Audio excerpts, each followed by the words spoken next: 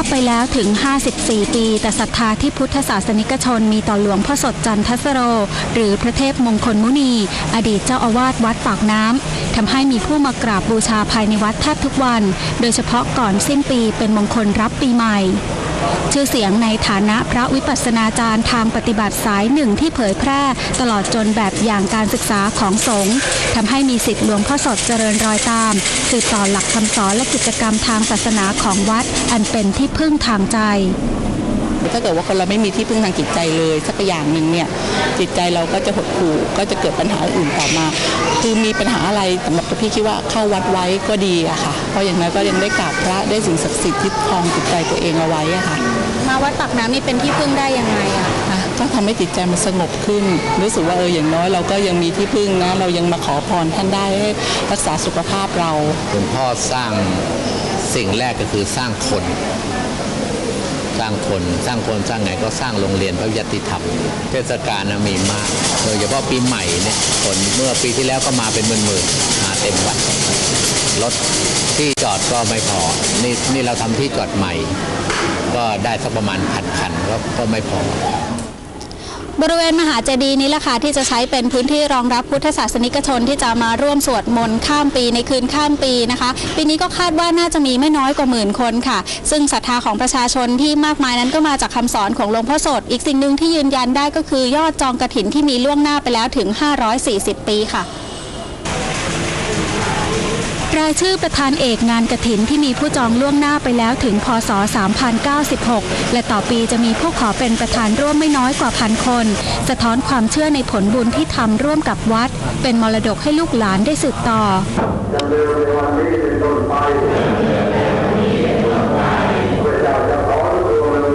ไม่เพียงทำบุญต่ออายุพระศาสนา แต่การเลือกชำระใจผ่านการปฏิบัติวิปัสสนาต่อเนื่องของกัลยาพรโชคชัยทำให้ได้ใช้โอกาสนี้ขอมงคลให้ชีวิต และหวังให้คนในชาติก้าวข้ามความขัดแย้งที่เกิดขึ้นได้ จึงเป็นอีกปีที่ตั้งใจจะมาสวดมนต์ข้ามปีที่วัด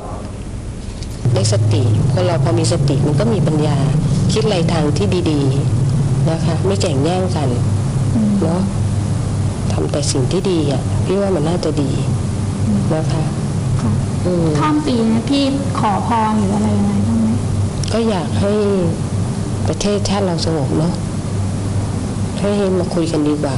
อย่ามีเรื่องกันเลยอะส่วนหนึ่งศรัทธาในหลวงพ่อ ส่วนหนึ่งศรัทธาในวัดปฏิบัติของเอ่อพระลูกวัด แล้วก็ลูกศิษย์ลูกหาที่เอ่อสืบปฏิพานท่านมา มีคนเขาก็ถามว่าหลวงพ่อ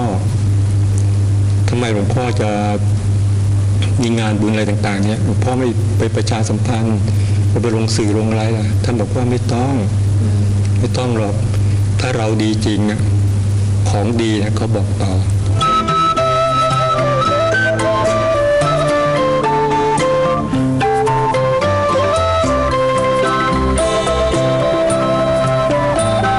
ปัจจุบันวัดปากน้ำภาษีเจริญ พัฒนาถาวรวัตถุทางศาสนาภายในวัด พร้อมเผยแผ่คำสอนผ่านหนังสือและสื่อธรรม รวมทั้งการทำหน้าที่ประธานคณะผู้ปฏิบัติหน้าที่สมเด็จพระสังฆราช ของสมเด็จพระมหารัชมังคลาจารย์ เจ้าอาวาสรูปปัจจุบันยังทำให้วัดปากน้ำภาษีเจริญ เป็นที่สนใจของพุทธศาสนิกชนไม่น้อย วัดยังคงจัดกิจกรรมสวดมนต์ข้ามปีรับปีใหม่วิถีพุทธ พร้อมกับวัดทั่วประเทศไม่น้อยกว่า 4,500 แห่ง เพื่อให้ประชาชนเริ่มต้นชีวิตด้วยธรรม มีสติตั้งรับกับเหตุการณ์ดีร้ายที่จะเวียนผ่านมา